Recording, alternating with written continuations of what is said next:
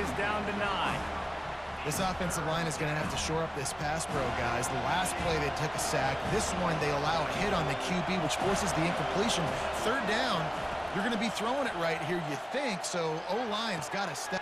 Oh, what a grab by the defense. Bringing it back. Woo! And he's going to run it all the way back. Touchdown Seminoles. Bye-bye.